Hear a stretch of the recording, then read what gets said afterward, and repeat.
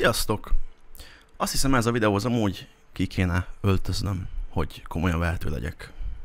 Az elmúlt napokban nagyon sokan küldték nekem, hogy Siló István mit reagált az én videómra. Az édesapa a 15 éves fia Twitch csatornáján elkezdte elcsetelni, hogy hogyan szeretne engem elrabolni, megverni, meg hogy a Dancsót például hogyan verné meg, mert hogy ő ezeket a reakció videósokat nem szereti. Ami érdekes amúgy, mert a két okosék is így jöttek oda hozzájuk, de ez egy másik téma, na most ez nyilvánvalóan egy rossz dolog, egy undorító dolog, és nem követendő példa a gyerekek számára. Ez egyértelmű. És szerintem nem ilyen az, amikor egy nagyra becsült üzletember megfontoltan cselekszik. Ez a, ez a manin gyerek is elkezd rólam dumálni, tényleg oda megyek a házához, lehívom, és beteszem a csattartó, és elviszem. Na de a lényeg nem is ez. A kétokos kisfilmben a stáblistán maffia vezérként szerepel, a probléma viszont azzal kezdődik, hogy ezt a szerepet elfelejtette levenni magáról, miután vége lett a kisfilmnek. A klipben elhangzott az, hogy eljárások folynak ellenem, Figyelj, ha egyszer én csinálnék róla egy videót, hogy milyen eljárások mennek a csávó ellen, meg a tesója ellen, és egyéb dolgok. Figyelj, hidd el, utána néztem, mindent tudok erről a kis szarháziról, de nem is az a lényeg. Még egyszer, elkezd rólam dumálni, tényleg oda megyek a házához, lehívom, és beteszem a csattartó, és elviszem. Na de a lényeg nem is ez. és ezek amúgy nyilvánvaló rágalmak. Nem is értem, semmilyen eljárás nincsen ellenem, és azt sem értem, hogy a családomat miért kellett belevonnod, hiszen én tisztelem a családomat. És emiatt nem szoktam belerakni őket videókba. Ezután Steve Instagramra kirakott egy beszélgetést, amin a 2017-es profilképem látható, és az áll rajta, hogy valakitől füvet szerettem volna venni. Szeretném leszögezni, hogy itt amúgy még fiatalkorú voltam, és a beszélgetésre egyáltalán nem emlékszem. Nem tudom, Steve mit szeretett volna ezzel bizonyítani, hiszen ő barátkozik olyan emberekkel, akiknek a hírek szerint, a híroldalak szerint már volt köze kábítószerekhez, nem is egyszer. A sztoriában semmit nem írt, viszont utána privátban azt írta, hogy ő kifizeti az elvonómat, illetve hogy ne fogyasszak és ne áruljak kábítószert.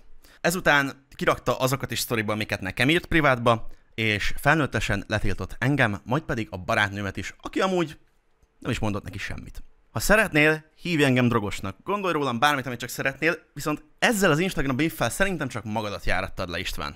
Nekem még egy barátom sem halt meg a kábítószerek miatt, és sosem volt negatív eseményem a rendőrséggel. A marihuána pozitív és negatív hatásairól már rengetegszer beszéltem a streamjeimben, akár videókban is, illetve Márkus Józseffel, aki ennek az iparnak a legjobb szakértője itthon, már csináltunk élő adást is, közös műsort, illetve közösen dolgozunk a Fűdejó csatornán. Szóval, ha valaki erről még többet szeretne megtudni esetleg, és nem azt szeretné hallani, amit a kormánymédia sugároz, hanem mondjuk a valóságot, akkor meg tudja nézni ezen a csatornán ezeket a tartalmakat. Én sosem árultam drogokat, ellentétben Stevie bácsival. És azért hívom Stevie-nek amúgy, mert ő is így hívja magát, nem értem, hogy miért, de Stevie. Természetesen drogok alatt nem az illegális kábítószerekre gondolok, hanem az alkoholra, mivel az alkohol is kábítószer, sőt az alkohol az egyik legrosszabb kábítószer.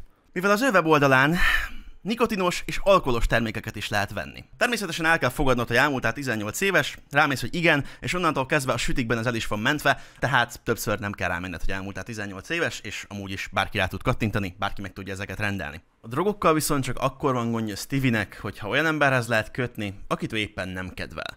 Hiszen curtis és Berki Krisztiánnal nagyon jó kapcsolatot ápolt, és róluk köztudott volt, hogy kokaint és más kábítószereket sem ítéltek el, nem vetették meg ezeket. Berkinek pedig az is lehet, hogy ez okozta a vesztét, de a család a haláleset után nem szeretett volna arról beszélni, miket találtak a szervezetében. Isten nyugasztalja Berki Krisztiánt. Hogyha azért drogos vagyok, amiért kiállok az emberek egészségért, akkor legyen. Viszont szerintem mindenkinek megvan a joga az egészséghez és a gyógyuláshoz. És pontosan az ilyen elmaradott gondolkodásmód miatt lehetséges az, hogy Magyarország az egyetlen EU-s ország, ami még mindig nem fogadta el az orvosi marihuána használatát. Tehát még a betegeknek sincsen lehetősége arra, hogy meggyógyuljanak ettől a növénytől. Ha valaki ezt nem hiszi el, hogy ennek gyógyító hatásai vannak, magára vessen, a tudomány mellettem van. Ha már szerhasználatról beszélünk, nemrég szembe jött egy kép velem a TikTokon, amin Steve volt látható, régi képek Steve-ről, és Kikértem róla egy egészségfejlesztő személyi edzőnek a véleményét. Véleménye szerint valamiféle turpisság játszhatott szerepet Steve testépítése során. Mivel István eléggé fel van vizesedve, fel van puffadva, látszólag a belei vannak főleg felpuffadva, egy apró furcsaság még az is, hogy mostanában a nagyon népszerű kétokos duo a Twitch-en elkezdett nagyon sok tartalmat gyártani Steve-ékkel, és valamilyen oknál fogva az, amit Steve csinál, az nem zavarja őket. Pedig a kétokos értékrendje nem is olyan régen még abból állt, hogy elítélik az energiaitalokat, a nikotinos termékeket, Azért, mert tesó be, minden, ez, ez, ez, maga a társadalom, érted? Rád akarja erőltetni ezeket a szarokat, azért lecsúsz. Nem magától kezd el a gyerek cigizni, hanem azért, mert az osztálytársak a többiek kényszerít, kényszerítik rá, érted? De a baj. A, az, az F-bárokat is, igaz? Azt hallottam. Ugye? Az F-bározást is elítéled, és jobban büntetnéd, igaz? Tesó, nyugi, igen. Na, aha, de hogyha a spanod nyomja a promót, a Silló nem a saját, a Silló nem a saját f promóztatja a gyerekével, az belefér? Volt olyan is egyébként, igen, volt olyan is. És nem ő, ő nem. És az alkoholfogyasztását is. Illetve azt sem szeretik, hogyha az influencerek hamisan luxust mutatnak, illetve a tökéletes gazdag életmódjukat mutatják, és így vannak jelen a social médián. Ez négy dolog, illetve négy dolog, amit Steve kipipál ezen a listán mindet kipipálja ezen a listán. Valamiért viszont ez mégsem zavarja sem a két okost, sem a nézőiket. Feltehetőleg azért nem zavarja a két okost, mert ez egy kölcsönös pénzszerzési lehetőség mindkettőjük számára. Ugyanis Istvánt az sem zavarta, hogy Ice milyen módon nyilvánult meg a saját lányáról. Mert ugyebár azok csak viccek voltak, és hát aki nem érti a viccet, az jaj, így, meg úgy, meg így, meg úgy. Mehetnék a Lauráért? Vicc. De Steve szerint nincs olyan, hogy rossz vicc, hogyha egy üzleti partnerről van szó.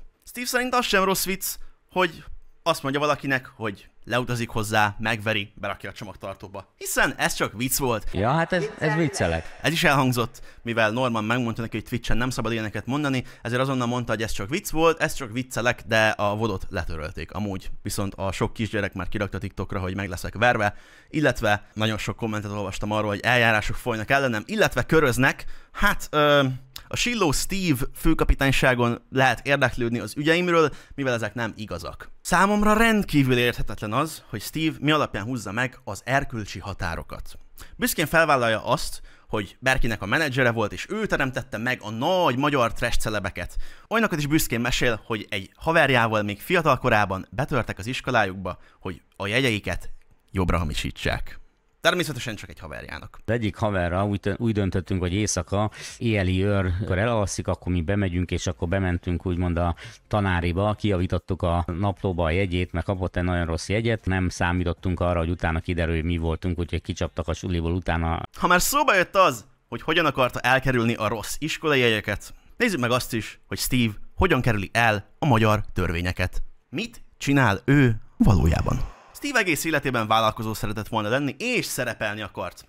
A saját figyelemságát először Berki Krisztiánon élte ki az RC Creative Media Kft. cégén keresztül, most pedig főként a gyerekei csatornáján keresztül éli ki ezt. Vicces, hogy már itt is egy maffia boss szerepet rakott magára, mint a cég tulajdonosa. Már itt megmutatkozott, hogy milyen ember szeretne lenni Steve, a YouTube videókat az RC News csatornára 2014-ben kezdték el feltölteni, ami az RC Creative Media Kft. tulajdona volt, de az is lehet, hogy a szlovák RMC Media SRO céghez tartozik. Hiszen Steve-nek rengeteg cége volt már, és gyakran a neveiket is változtatta. Itt látható az, hogy egy Mechanic SRO cégnek a tulajdonosa volt, ami később át lett nevezve Lamboxra, illetve a Lambox később át lett nevezve ezigi.sro-ra, de az ezigis oldala amúgy nem ezen a cégen fut. Silo arra is büszke, hogy Berkivel tényleg nagyon jó barátok voltak. 2014-ben István intézte el Berkinek az új irodáját, és ekkor kezdődött szerintem az RC Creative Media News hírügynökség, reklámügynökség, hívjuk is bárminek ö, dolog. Mondhatni Silló kezdte el az egész Berki jelenséget Youtube-on, és minyonként szolgált Christian mellett. Segített neki kampányolni, hogy sok feliratkozója legyen. Például 40 ezer feliratkozónál azt mondta, hogy kisorsolnak 40 ezer forintot valakinek, bár a nyertesre sosem derült fény. Megjutalmazhatnánk őket, akik a Facebookon és az Instagramon követhetnek némi készpénzzel. Akkor sorsoljunk ki 40 ezer forintot. Míg Aleska Diamond pornó színésznővel is boldogan mosolyogtak István és Krisztián is, hiszen Aleska is többször megjelent ezen a csatornán. Mutatok egy pár példát. Berki nem engedte, hogy Aleska a nadrágjában turkáljon. Aleska különleges fiúra bukkant az interneten. Így látsz nő Aleska módra! Aleska Diamond keményen szereti. És a kedvencem, nekik okozott örömet Aleska Diamond. Berki, Curtis, Sober Norbi, Alekos és még nagyon sokan mások voltak foglalkoztatva Silló által ezen a csatornán. Viszont sajnos a sok szentceleb és vállalkozó sem adott elég megtekintést ahhoz, hogy ez egy nagy áttörést okozzon a Youtube-on. István tényleg nagyon büszke ezekre a videókra, bár én lehet, hogy inkább letörölném őket a helyében. Az RC News utolsó videója 2016-ban lett feltöltve, és ezután több ilyen trash szerep tartalmat nem nagyon láthattunk Steve-től, viszont 2019-ig még üzemelt a weboldaluk a Facebookon, és javarészt híreket meg random érdekességeket hoztak le cikkek formájában. Illetve szerintem Steve és Berki valamin összekaphattak, mivel Berkinek volt egy ilyen posztja is, ahol Láttam olyan kommenteket, miszerint Steve-nek is volt egy ilyen posztja, de azt sajnos nem találtuk meg. Idézem, Manapság a kígyók már nem sziszegnek, hanem barátnak, testvéremnek szólítanak. A kommentekben pedig azt írták, hogy ő ugyanezt mondja rólad. Sőt, először nála láttam kitenni. Nem osztod meg végre, mi lett az országos színboráddal? Silló barátodnak szól az üzenet? Ha már Steve olyan eljárásokról beszélt, amik nyilvánvalóan nem valódiak ellenem, akkor nézzük meg azt, hogy milyen eljárásokról tudnék én nektek beszélni.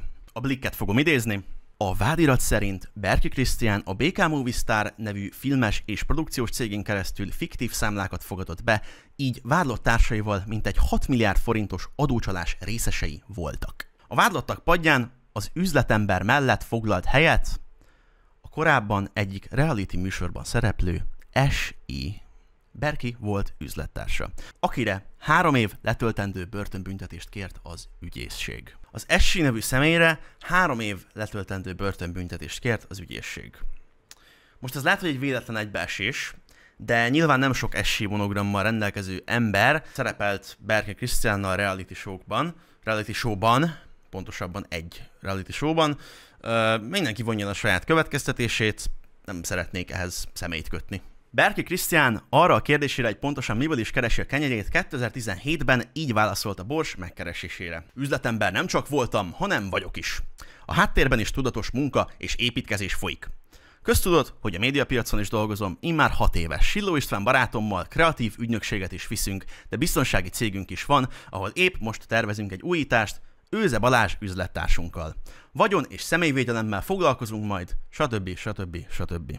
Az imént Berki által említett Őze Balázs vagyon és személyvédelemmel foglalkozó cégem úgy tényleg nagyon jól ment, Olyannyira jól, hogy az árbevétele 2015 és 17 között több mint duplára emelkedett, azaz 129 millió forintról 270 millió forintra, és a cég adózott eredménye 355 ezer forintról 4,3 millióra nőtt ebben az időszakban.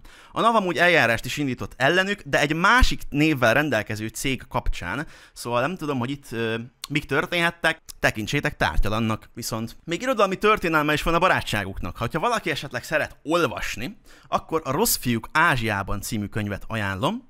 Ezt amúgy Ambrus Attila, ex-bankrabló, és Berki Krisztián adócsaló írta 2018-ban, Karis Tamás segítségével. Idézem Istvánt a könyvből. Igen, inkább az a jó szó rá, hogy a menedzsere vagyok. De igazából Krisztiánnak nem is kell menedzser a szó klasszikus értelmében. Viszont vannak olyan tárgyalási helyzetek, amikor nem vennék jól magát, hogyha ő azt mondaná, hogy ezért és ezért kérek mondjuk egy millió forintot. Olyankor jövök én, a kőkemény menedzser, és kimondom az összeget. Helyette. Ami neki ciki lenne egy adott esetben. Bár neki semmi nem szokott ciki lenni, Steve szájába jobban hangzik. Olyan eljárás is volt amúgy, hogy Steve-nek a cégét elkapták céges kocsival való gyorshajtásért, bár ez nem újdonság hiszen több videó is van a csatornájukon, amikben versenyeznek közutakon, akár gyerekkel az ülésen, akár egyedül. Nem túl jó. Hallod, meg, mi van, mi van, mi van? Természetesen nem csak egy cége van, amire már rászállt a NAV, például nem csak gyorshajtásért küldenek végrehajtási nyilatkozatot, sőt a NAV általában nem gyorshajtásért szokott küldeni végrehajtási nyilatkozatot, és a Lambox Kft. ellen amúgy 2019-ben, 22-ben, 24-ben is volt már eljárás. Szerintem ennyit elég megmutatnom. Amikor az RC News lecsengett, Steve új pénzkeresési módszereket keresett, amit irányítani fog tudni a háttérből, viszont szerepelni is tud benne. Létrehozta két gyerekeinek az új YouTube csatornáját, mert minden kisgyerek vágyik egy ponton arra, hogy videós legyen. Ezt az alkalmat kihasználva meglátta a pénzszerzési lehetőséget a gyerekeiből, és a csatorna mellé fél évvel az első videójuk után be is regisztrálta a lambox.hu domaint. Az első videó 2018. augusztus 17-én lett feltöltve, és 2019. január 24-én lett beregisztrálva a lambox.hu. Tehát fél év elég volt Steve-nek arra, hogy megállapítsa, a gyerekekből igenis lehet pénzt keresni. Szóval már ekkor tervben volt a Landbox, ami amúgy szerintem azt jelenti, hogy Laura and Norman Box. Ebből is látszik, hogy ennek az egésznek az elejétől fogva a pénzszerzés volt a célja, és a gyerekek hülyítése. A csatorna a gyerek nézőközönséget szeretné bevonni azzal, hogy bemutatják hétről hétre, milyen jó élete van a silló gyerekeknek. Illetve ez nem mindig hoz elég megtekintést. Szóval gyakran etikátlan prankek kerülnek bele a videókba, és körülbelül havonta egyszer jön egy szexuális tematikájú indexkép, vagy videóban elhangzó dolog is, lehet, hogy nem havonta, de sokszor. Gyakorlatilag a gyerekek magánélete nem is egy létező dolog Steve számára, 8-10 éves koruk óta folyamatosan az interneten vannak, a publikum előtt élnek nyíltan. De természetesen ez nem probléma, hiszen jó kis pénz hoz a házhoz Silló Steve-nek, aki a főkolomposa annak, hogy minél durvább szintekre emeljék a minél szexuálisabb tartalmakat. Kérdem én, meddig lehet még emelni a szintet? Meddig hajlandó még Steve kiárusítani a gyermekeit és megszégyeníteni őket? Vajon ez a jövőben jó lesz a gyerekeknek? Bántani fogják őket esetleg az iskolában? Ja? Várj, nem, mert privát iskolába tudtad őket berakni, ahol minisztereknek a fiai, az osztálytársai, és a többi, és a többi. Tehát továbbra is a buborékban élnek, amit te legeneráltál nekik. Ugye a Norman is tényleg olyan barátai vannak, akiknek nagyon tehetős, híres, uh-huh. gazdag szüleik vannak. A lambox.hu valamiért már nem elérhető, mivel pont azután, hogy Steve elkezdett rólam beszélni, karbantartás lett az oldalon, pedig egészen addig működött, ez elég fura, de szerencsére mindent lementettünk. Itt ugye mystery boxokat adott el Steve, ennek amúgy a social media linkjét még mindig meg lehet találni a Laura és Norman videók alatt. Amúgy a gyerekek social médiáját egy ideig Steve kezelte, és látható is volt a biójukban a lambox.hu, csak Normanról találtam képet, de látható rajta szerintem egyértelműen. Az egyik üzleti stratégiája az volt a Lamboxnak, hogy minden 300. dobozba kerül egy játékkonzol vagy valami drága dolog, és így könnyebben el tudták adni a kiskorú nézőknek. Hogyha már amúgy is gyerekek vásárolnak tőlük, miért is náruljon valami olyat, amit újra és újra megvesznek a gyerekek? mert szeretik. Egy sima üdítő vagy csoki az viszont nem elég erre a célra, mert versenyezni is kell ugye a piacon a többi termékkel, és túl sok pénzért kéne árulnia ahhoz, hogy profitálni tudjon belőle. A Lambox weboldalán lehetett vásárolni István egy másik projektjét is, az XP formulát, ami egy energiaitalpor, tehát koffein tartalmaz. Semmi sem garantálja jobban azt, hogy a gyerekek megvegyék a terméket újra és újra, mint az, hogy ráfüggnek az adott termékre. Nagyon könnyen függővé teheti az embert az energiaital, és amúgy elég népszerű a fiatalok körében a Hell, Red Bull, Monster, úgyhogy ha kicsit másképp csinálta volna, akkor garantáltan nagy siker lett volna belőle. Sajnos azonban ez egy nagy csalódás lett. A hirdetések nem voltak a toppon, és a vélemények sem voltak annyira jók, emberek írták kommentekben többször is, hogy nem ízlik nekik, tehát nem tudott megmaradni a piacon az XP formula. Nem volt elég erős. Végső elszántságából pedig bevetette az Ultimate Yu-Gi-Oh kártyát Steve, odarakta a fia arcképével a terméket, hát ha az majd bevonza a nézőket, de még így sem sikerült áttörést elérni. A poszt felkerülésekor amúgy Norman 12 éves volt, és a képen egy vitaminos termék látható Norman kezében, ami lehet, hogy nem tartalmaz koffeint, viszont a többi termék biztosan, mivel ezt Steve írta le az XP Formula Facebook oldalán. Az XP formula tehát megbukott. Külön érdekesség amúgy, hogy Steve szerint nem jók a proteinporok és egyéb testépítők által használt szerek sem. Nem kell még az a rohadt proteinpor sem, még nem kell sem jó kajákat kell enni. Ám mégis leszerződtek egy proteines oldallal, ahol kis ideig futott is amúgy az XP formula. Most már nem található meg a weboldalon, viszont ha rákerestek egy XP formula, akkor lehet látni, hogy a proteinoutlet.com-on fent volt, és a Google keresésben ezt még kidobja. Steve nem igazán értette, hogy mi lehet a probléma, ezért egy másik termék családot keresett, amibe beszállhat. Mi okoz még nagyobb függőséget, mint a koffein? Gondolkodjunk, gondolkodjunk, tette fel a kérdést magának. A nikotin és az alkohol, de sajnos nem árulhat gyerekek számára cigarettát és alkoholos italokat sem. Vagy mégis? Vagy mégis? A rapid ütemben népszerűsödő cigaretták és eldobható nikotinos termékek tökéletes megoldást nyújtottak Steve üzletéhez. Hiszen a gyermekek imádják a gyümölcsös szarokat, az édes szarokat, arról nem is beszélve, hogy a nikotin és az alkohol ilyen fiatalon irányíthatatlan függőségeket tud okozni. Gyermekek életét teheti tönkre. Miért említem az alkoholt? Nos, Azért, mert már alkoholos gumicukrot is lehet venni ezen az oldalon, és Norman említette is nemrég egy videójában, hogy szeretne majd streamben alkoholos gumicukrot enni a barátaival, és idézem, jól bekurni. Rendelünk a spanokkal alkoholos gumicukrot, csak így elkezdünk kajálgatni tök sérüljenek, és akkor leteszteljük, érted? És akkor lehet, hogy izé, kicsit bekúrunk, meg ilyenek. Ez talán egy véletlen egybeesés lenne? Nem hiszem. De Ki tudja, az előző bukáson tanulva, itt már viszonylag hamar be akarta hirdetni a piacra a termékeit, hogy berobbanjon, 2022. augusztusában pedig be is hirdette a frissen 14 évet betöltött kisfiával ezt, hogy még több gyerekhez eljusson az oldal. Ezek alapján Steve számára a gyerek az csak egy hirdetőeszköz, ami úgy táncol, ahogy ő fütyül, hiszen ő tartja el. A családi kapcsolati függés köztük elég erős. Lehet, hogy egyfajta befektetés számára gyerekvállalás is? Az elcigi bizniszbe amúgy 2022-ben vágtak bele, amikor kedves barátjukról, Garyről kiderült, hogy ő dohányzik, és elkezdték az emberek mémelni, hogy Zigis Gary, meg hogy csak Konics Gergely dohányzik, és Gary nem. Skizofrénia? Ebből a kurva jó ötletből jött az Elzigi webshop ötlete, és a neve is. Nagyon kreatív. István nevén amúgy van az Elcigi szlovák cég, de a weboldal már, mint mondtam, nem ezen a cégen fut. És külön érdekesség, hogy a magyar elzigi.hu oldal doménja, amin eldobható e-cigarettákat és alkoholos gumicukrot is árultak, pont egy elfbáros szlovák ügy kapcsán lett átirányítva a szlovák doménnel rendelkező verzióra, és ekkor is lett regisztrálva a szlovák domén, valószínűleg megijedtek, hogy másokat elkaptak, ezért cselekedtek, hogy őket ne. Bár a doménnek és a regisztrációs dátumok elég keszekuszák, hiszen lehet, hogy több, mint 9 domain is az e-cigi bizniszhez köthető, és egyáltalán nem átlátható az, hogy melyiket mikor használták, viszont most felsorolom őket. ecigi.hu, ecigi.sk, ecigi.eu, ecigi.ro, ecigi.sk, ecigiv.com, ecigimarket.com, ecigimarket.eu és juotó.sk.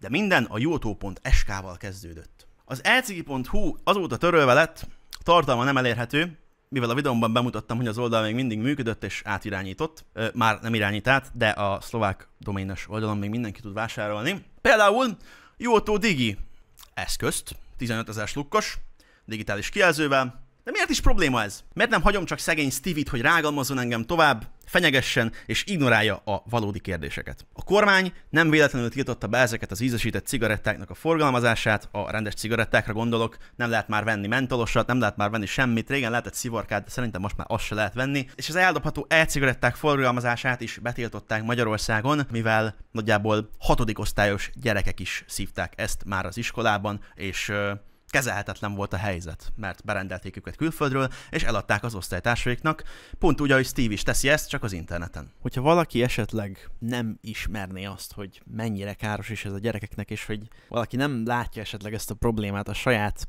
életterében, akkor neki intéztem most egy interjút egy 13 éves általános iskolás sráccal. Hallgassátok meg, hogy ő mit mesél. Igazából 13 éves vagy, akkor az azt jelenti, hogy nyolcadik osztályos, ugye?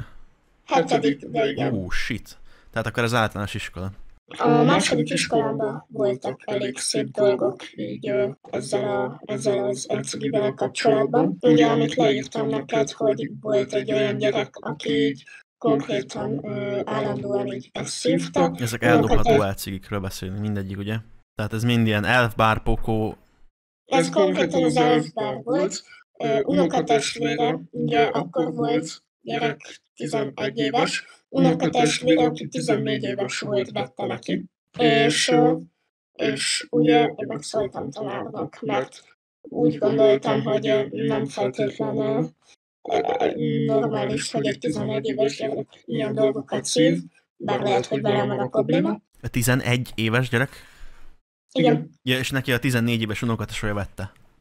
Igen, igen. Az kemény. Hát ez, ez, ez nem veled van a probléma szerintem. És itt mit, mit mondott a tanár? Ö, szóltam tanárnak, aki hát így ö, kö- ugye elvette tőle, de hogy így ö, utána mindenkinek az maradt meg, hogy én vagyok a, a rúsz ember, aki minden jóból kimarad, és hogy, ö, és hogy én vagyok az az izé, aki, aki mindig köp a tanárnak, és semmi izében nincs benne, és ö, ugye a tanárunk is lázdohányos, bár ő hevítő udas izét szív, Uh-huh. És hogy, hogy szerintem neki is egy kicsit az volt meg, hogy, hogy én vagyok az, aki így semmi ilyenben nincs benne, meg megkaptam, hogy az ő, idő, az ő idejében is mindenki sima cigit szívott, és hogy ezzel nincs semmi izé.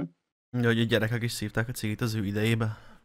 Ja, Most amikor én voltam annyi idős, mint te, én, hogyha körbenéztem az iskola területén, én, én egyszer sem. Tehát a, a, azon gondolkodom, hogy szerintem tényleg általános iskolában szerintem egyetlen egyszer volt olyan, hogy amikor mentem haza, gyalog, akkor egy másik srácnál valahogyan volt cigi, és abba egyszer beleszívtam. De én ezen kívül, ezen az egy alkalmon kívül soha nem is láttam a gyerekeknél cigit, meg nem is láttam, hogy bárhol cigiztek volna a gyerekek. Szóval nem tudom. És amúgy nem a legkirályabb általános iskolába jártam, meg semmi ilyesmi, tehát ez egy teljesen állami suli. Aztán még volt egy azonosító exam, ahol konkrétan a szülő vette a gyereknek. Az Ja. már egy évvel később volt, tehát ott 12 éves volt. Egy másik, másik osztálytársam, ez hatodik osztályban volt. Ő nem eldobhatókat szívott a szülő, hanem ez a újratöltős. Uh-huh. és viszont eldobhatót vett így a gyereknek. És tudod, ott már, ott már az volt, hogy konkrétan, hogyha semmi ilyesmit nem használtál, akkor ilyen senki nem cikizett miatta közvetlen, de azért érezted, hogy, hogy, hogy, Kimaradsz a hogy ez nem- körből. Nem? Aha, aha. Ne, És ez, ennyi, ez ennyire normalizálódott általános iskolásoknál, hogy már mind, nagyjából mindegyik általános iskolában a, a felsősök azok már szívnak ilyen szarokat? nem csak a felsősök, persze. Ú. Számügyileg. Hányan voltatok az osztályban, Hát abban az osztályban kevesen voltunk, 18-an. és abból mennyi És- cigizett? Mennyi elcigizett? Szerintem egy 13-14, tehát Olyan. bőven több, mint a fele, persze. És ezt, uh, ez, ez így a többi osztályra is kiterjesztődik? Tehát azt mondod, hogy Igen, igen. és ez gondolom a felsősöknél ez hatványozódik, és az alsósoknál még csak kezdődnek ezek a dolgok. Igen, igen. Hát volt olyan, hogy harmadikosok beszélgettek arról a ötödikesekkel, hatodikosokkal, már nem emlékszem, hogy ők milyen is szeretnének, hogy amikor első nap kipróbálják, akkor, akkor miért vegyenek. Tehát, hogy ilyen szinten harmadikosok. Jézusom. Hát Ez nagyon De hogyha állandóan ezt látják, meg mindenhonnan ez jön, meg azt látják, hogy ugye a nagyok, akik milyen menők, hogy nem tudom, ők is, ők is ezt szívják, akkor persze, hogy ők is ezt akarják kipróbálni. Hát most én annyira nem vagyok öreg, de az én időmben konkrétan az volt a menő, hogyha valaki bevihette a telefonját az iskolába, vagy, vagy valakinek okos telefonja volt, nem az, hogy izé cigiztek. De hát, ja, Hát durva. nálunk most ö, kettő dolog, ami menő, a sneakerek, meg, meg az elcigi.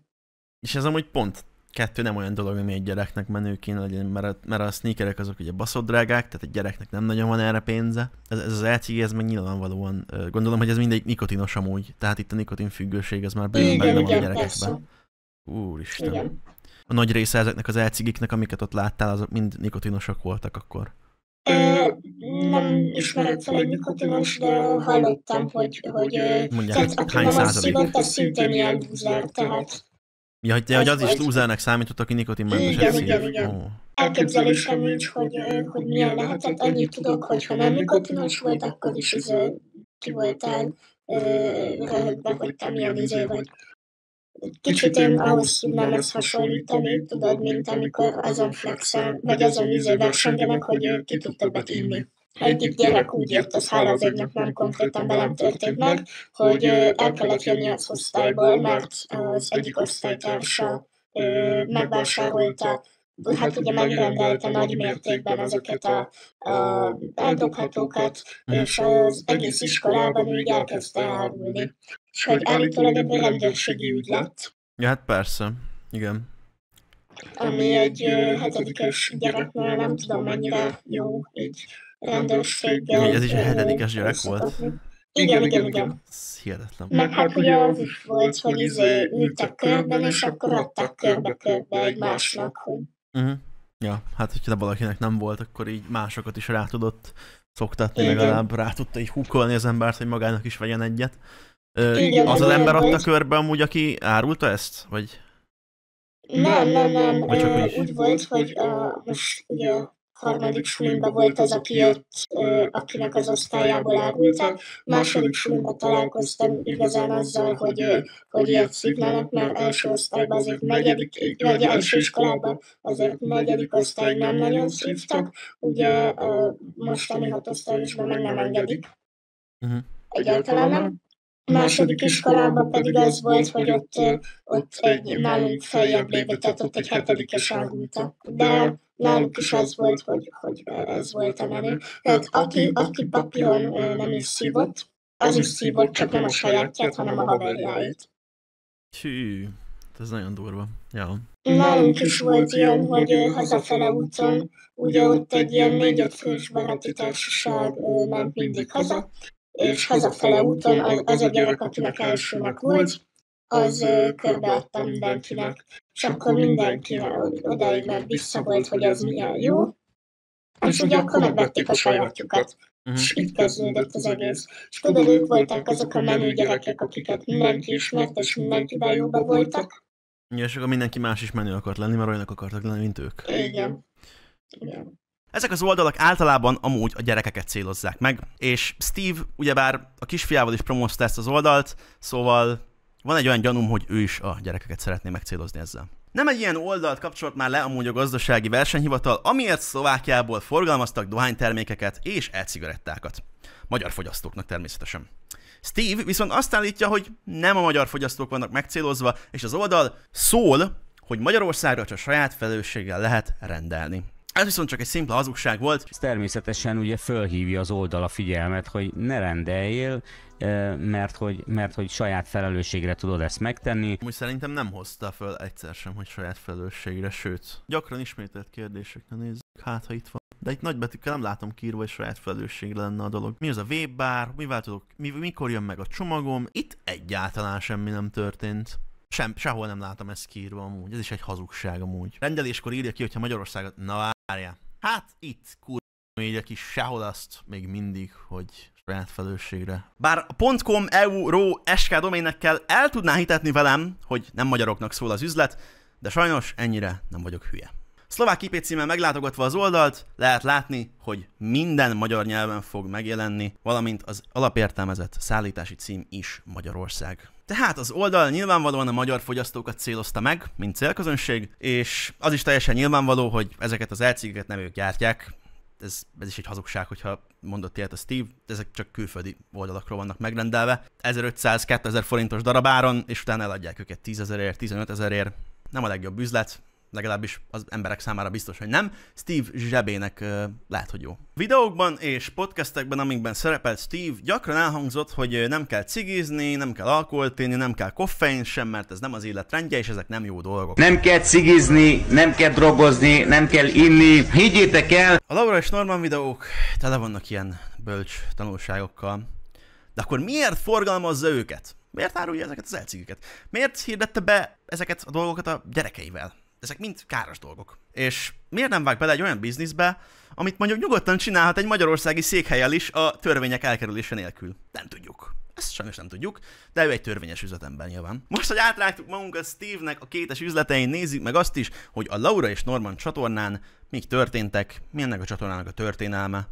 Hiszen ez csak kettő cuki gyerek, illetve egy családi csatorna, family friendly content ugyebár. Az RC News után két évvel István gyermekei beléptek ugye abba a korba, hogy álmuk lett a youtuberkedés, mint mondtam, és egy gyereknek ez rettenetesen rossz lehet, mivel ez egy nagyon nagy nyilvánosságot eredményez, és ilyen fiatalon ez meg fog látszani később, hogy milyen káros hatásokat tesz. Norman viselkedésén amúgy már lehet látni a torzult világképnek a jeleit, és azt, hogy nem tiszteli a nála csóróbb embereket. Más mozgat minket, mint amúgy az átlagot, és ezt sokan nem értik meg. Még a hajléktalan szó sem jutott eszébe amúgy egy podcastben Normannak, csak az, hogy csöves. Aztán megtaláltunk egy ilyen, egy ilyen, hát hogy mondjam, hát nem csöves ember, tehát egy ilyen, kim volt az utcán, egy ilyen hajléktalan. Hajla, igen, ezt a szót kerestem, és nem vagyok beképzelt gyerek, hogy ezt mondom, hogy ilyenek szerintem. Tudod, nekem nem kellett kétszer megpróbáljam. Én minden sportban úgy, ahogy volt, akkor jól sikerült, jól ment egyből, nem kellett nekem felfejlődni egy komoly szintre, mert én pikpakot voltam. Nem vagyok beképzelt gyerek, hogy ezt mondom, hogy ilyenek. Viszont most nem a gyerekeket szeretném ekézni, hiszen még csak gyerekek, és nem tehetnek arról, hogy az apjuk nem nevelte meg őket. Norman 10 éves volt, Laura pedig 8, amikor az apjuk segítségével elkészült az első Laura és Norman videó. Az első videónk ilyen fiatalon címmel 2018. augusztusában. Ebben elhangzik, hogy Geri csatornáján már láthattuk őket, de egy belevágnak egy sajátba is, mert Geri adott nekik ihletet, gondolom. És ezután nem sokkal Geri csatlakozott a csapatukhoz, és fontos szerepet is játszott az elzigi biznisz lebonyolításában és hirdetésében is. A projekten közösen dolgoztak Istvánnal, és több domain is Geri nevére van amúgy beregisztrálva, manapság viszont inkább szerencsejátékot streamel, és ott is látható volt még kettő, azaz kettő-kettő hónapja az e-cigi Twitch parancs, ami azóta lekerült, szintén pont azután, hogy volt egy eljárás egy másik Szlovákiából futó e-cigis oldal ellen, ami amúgy azt hiszem, hogy a liquidcity.hu volt. Ezután került le a, az e-cigi command, Geri volt, hogy Fortnite-ot streamelt Normannal, és gyakran a videókban is szerepelt. Először, ha jól tudom, egy slime videóban jelent meg Geri, és ö, rengeteg ideig ő vágta Laura és Norman videókat. Talán még a mai napig is ő vágja ezeket, mert Steve elhintette a Chaos podcastben ezt. A Geri most már egy jó pár éve már abszolút a napi ügyekben nincs benne. Uh-huh. Ő azért elég sokat dolgozik, az egyik külföldi cégemnek lett a kereskedelmi igazgatója, azért ő neki elég fontos munkája van. Érdekes számomra, hogy pont egy olyan ember nem ismeri az internet és a média gyerekekre való veszélyes oldalát, aki évekig dolgozott csodásnál csodásabb celebekkel a saját média és reklámügynökségen keresztül. Ő nem látta, hogy mi történt a Disney-s vagy Nickelodeonos celebekkel? A celeb gyerekekkel? Miért tenné ki bárki is ilyen veszélynek a gyerekeit? Szeretném azt gondolni, hogy uh, Stevie tényleg a gyerekeinek akart jót a csatornájával, és ezt egy darabig igazolta is a YouTube, mivel a gyerektartalom az ugye nem tud pénzt hozni, nem tud bevételt generálni, vagy csak elenyésző mennyiséget egy normál nem YouTube Kids videóhoz képest, ezért inkább ugye a kétes termékeket reklámozta, hogy tudjanak pénzt keresni a gyerekeiből és a gyermeknézőkből. De a videóik nagy része az ugye már nem YouTube Kids tartalom, mivel hozzá lehet őket adni playlisthez. A kommentek pedig amúgy még mindig le vannak tiltva, annak ellenére, hogy már tudnak pénzt keresni, és már nem YouTube Kids tartalom, mondván, hogy meg legyenek óvva a negatív kommentektől, Erről amúgy a Chaos Podcastben szintén volt szó, és az is elhangzik, hogy a gyerekeknek amúgy 2 millió forintos fizetése van havonta, és leszarják a negatív véleményt, teljes mértékben. Gondolj bele az ők életükbe, hogy gyakorlatilag mondjuk van egy kétmilliós fizetése, érted? Tehát, hogy 15 Persze. évesen kétmilliós fizetéssel, nem is tudom, ez olyan, mint mikor én gyerekkoromban nem is tudom, lett volna egy kétmilliós fizetésem. Ha Laura és Norman csatornán a legnézettebb videókat kezded el megtekinteni, akkor könnyen láthatod, könnyen szembetűnik majd, hogy a legnézettebb videójuk az az esti rutinunk, Laura versus Norman.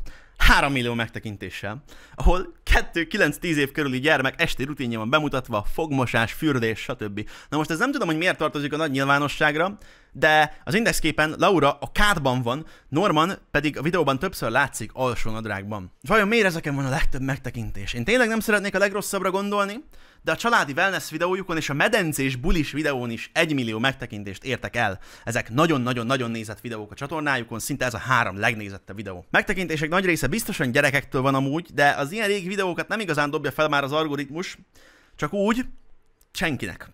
Főleg akkor nem, hogyha ki vannak kapcsolva a kommentek, nyilvánvalóan, illetve ez valószínűleg még YouTube kis tartalom, mivel ez az elsők között volt. Tehát ezt nem dobja be az algoritmus. Ha István szeretné megtekinteni, hogy hány öm, PDF jár vissza megtekinteni ezeket a videókat újra és újra, akkor a YouTube stúdióban az adott videóra kattintva ezt meg tudja tenni, és akár még le is törölheti ezeket a videókat, hogyha nem szeretné a gyerekeit ennek kitenni. Bár szerintem Istvánt amúgy ez nem nagyon érdekli, hiszen a lányáról 13 évesen olyan képek kerülnek ki Instára, amik láttán a börtönben éreztem magam. És amikor két okos ice a fenekéretett megjegyzéseket anyucinak hívták, illetve folyamatosan szexualizálta Laurát, akkor sem tett semmit István, mivel üzleti partnerségben állnak. Viszont nem csak Ice megjegyzéseinél neglektálja az apai védelmező szerepét Steve, mert a lánya Instagram komment szekciója tele van szexuális tartalmú kommentekkel, ezeket az embereket amúgy nem tiltják le, és nem is törlik ki ezeket a kommenteket, sőt, valamelyiket Laura még lájkolja is, annak ellenére, hogy ezeket felnőtt emberek írják, és természetesen gyerekek is írják őket. Nem szeretnék ennyire nagy teret adni ezeknek, szóval most csak így egyszerre bejátszom őket, állíts meg, hogyha el szeretnéd olvasni, nagyon undorító. Ice úgy már többször megjegyezte, hogy nem kéne Lauráról ilyen képeket kitenni. Ő tetszik a legjobban, mert szép kerek arca van, szép Keci! van, bájos mosolya. Erről beszélek, Laura. Szeme. Kurva. Te már mondtam. Igen, megdugnám, de... Keci! Nagyon gáz, bro. Ez, ez, ezért mondom, Laura, látod? Ilyen betegekkel van telebaszod az internet, szóval vigyázzál, mivel vagy videóba baszki, mert mindenki láthatja, fenn van az interneten publikusan. És idézem, öltöz már fel normálisan, Laura. Á, de mi ez a nadrág is? Miért, miért kell így felöltözni? Á, nem hiszem el. Én el sem nézek, én a csetet olvasom. Hát fel... Á, Laura! Mi a fasz csinál? Mi a fasz csinálsz? Vegyél már fel valami ruhát! Ebben teljesen egyet tudok érteni vele, viszont akkor nem értem, hogy miért ő poénkodott így ezzel a lányjal, tudván, hogy rengeteg kisgyerek nézi őket, és ők is ugyanezeket a poénokat fogják nyomni. Nem tudjuk. Lehet, hogy először gondolkodni kéne. Steve nem tesz semmit, hiszen Ice azt mondta, hogy ezeket megbánta és hogy vicc volt, viszont Steve a mai napig látja a pénzt a két okosban, ezért minden ilyen dolgot képes lenyelni, és az erkölcsöt teljesen leszarva, még ő is belemegy ezekbe a poénkodásokba a saját lányával, hogy majd ice esetleg beházasodhatna a családba, vagy ilyesmi. Ez egyenesen undorító szerintem, de itt van. Ha nehogy Isten úgymond beházasodsz a családba, akkor én jó após leszek, tehát nem lesz ezzel baj. Ez mi? Itt már azért Ice is érezte, hogy ez egy kicsit sok, kellemetlenkedett és egy kört. Ez mi? Ez mondta, hogy... Nem, de most Steve csak magára mondta. Van egy reality, amit felépítettek Steve-ék gyerekekkel, gyerekeknek, olykor tanulságos, vicces történetekkel és plot twistekkel. Én nem azt mondom, hogy minden tartalmuk káros, vagy minden tartalmuk eszméletlenül rossz és fogyaszthatatlan, vagy akár nem ültetném oda a gyerekemet, hogyha lenne. Viszont a legtöbb tartalmuk elé nem ültetném oda a gyerekemet, mert nem ezt a világképet szeretném, hogy megtanulja a gyerekem, és szerintem bármilyen normális ember, hogyha rendelkezik egy gyerekkel, van neki egy gyereke, az nem szeretné, hogy ilyenné nevelkedjen fel. Szóval a szülőknek üzenem, hogy tessenek már rá a gyerekre, hogy mégis mit néz az interneten. Miért vannak szexuális utalások family-friendly gyermek tartalmakban? Miért húzza elő Steve Norman fiókjából az óvszert, és kezdi el számolni élő adásban, majd kéri számon a saját gyermekét, hogy hová tűnt az egyik óvszer. Miért szexualizálja bárki a saját gyermekeit élő adásban? De most tényleg? Tehát üres a óvszeres doboz. És komolyan De már hova megint tűnik? már komolyan megint eszem pörög. De nem, csak hát most már én is meglepődtem, mint még egy zsák volt. Most komolyan felhoztad a... Tesó. Figyeljetek, ha esetleg megkérdeznétek, azt mondja, ez 2, 4, 6, 8, 9, egy darab hiányzik, azt jó lenne, hogyha közösen kiderítenénk, hogy hol van. De de sem bármi kérhetem. De hát ugye ezek azok a gyerekek, aki majd följelent a szomszédoddá válik, ez az a srác, az ilyen srácok azok, akiket tulajdonképpen majd elszeretik tőlük a, a, tőlük a, tőle a nő, nőjüket, tehát hogy nem akartam úgymond drasztikusabban fogalmazni. Tehát Mert tudod, mert folyton détek. Hozd már föl, légy szíves ezt a gyülekszet, mutassuk már meg.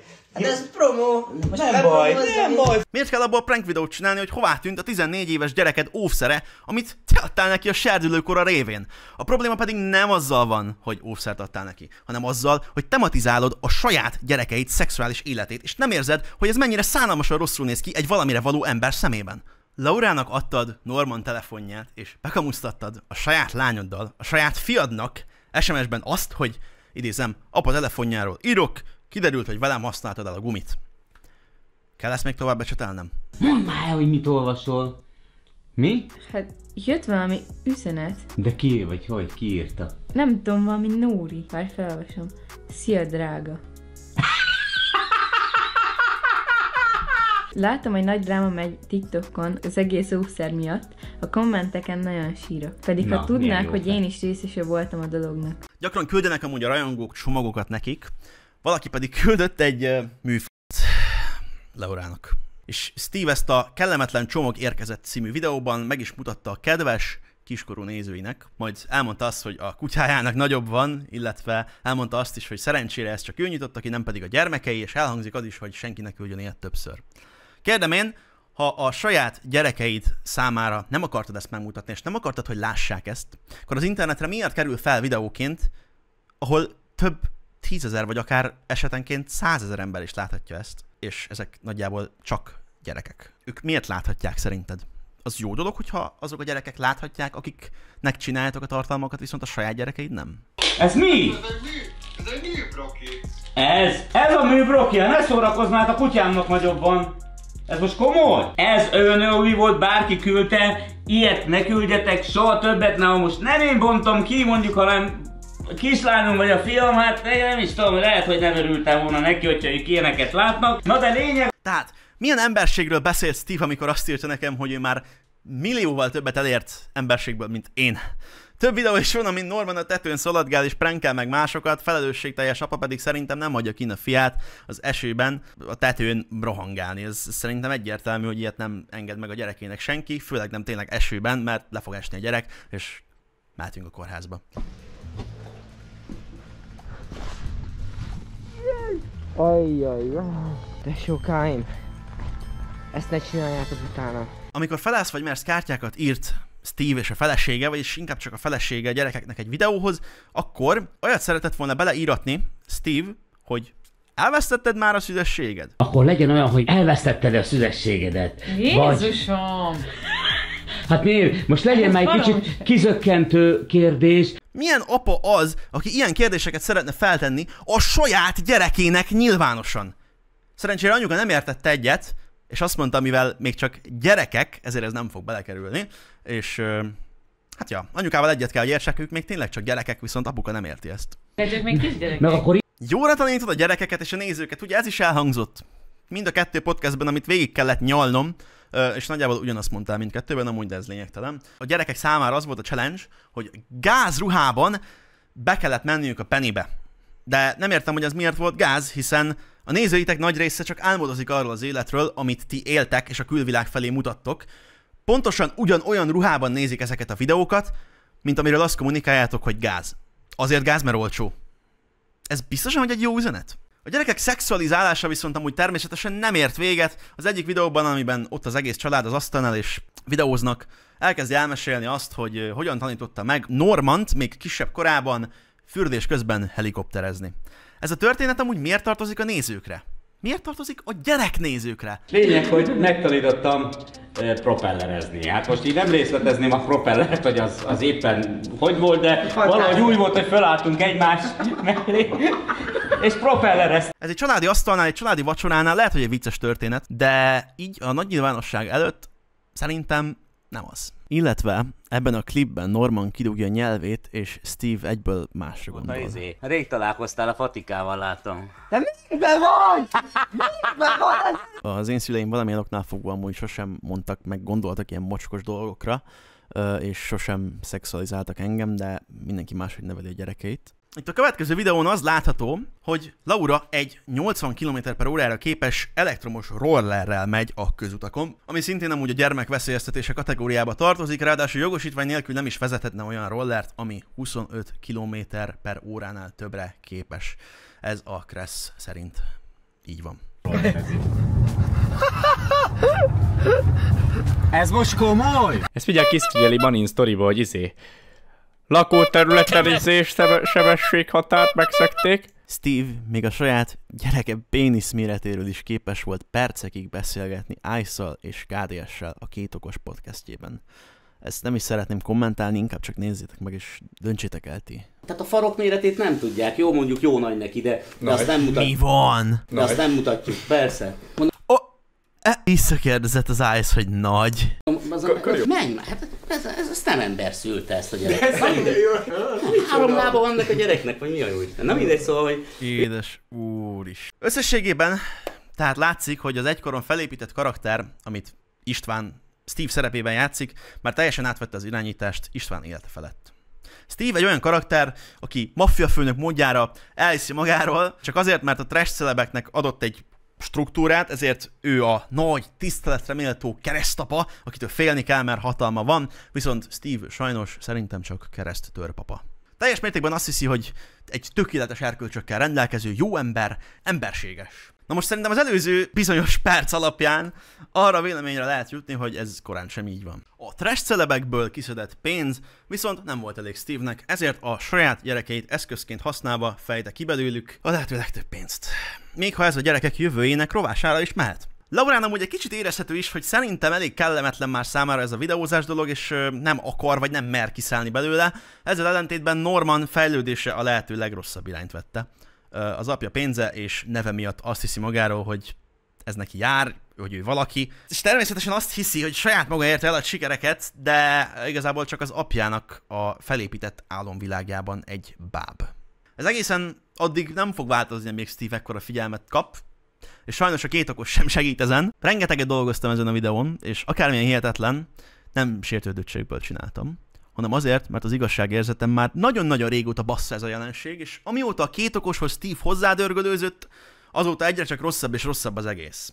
Ráadásul két okosék valamilyen oknál fogva olyan szinten tisztelik ezt az embert, hogy még akár a seggébe is belemásznának, hogyha ebből lehetne pénzt keresni. Több podcastben is amúgy azt mondta Steve, hogy szeretné, hogyha a gyerekeinek saját csatornája lenne, és segítség nélkül keresnének pénzt ezzel. Én valahol azért kiszállnék, mert belőle azért és hogy ő már szeretné abba hagyni a videózást, mert öregehez és a gyerekeinek átadná a stafétát. azért bíztam abba, hogy esetleg külön-külön fognak majd valamit csinálni. Nos, azt hiszem ennek eljött az ideje.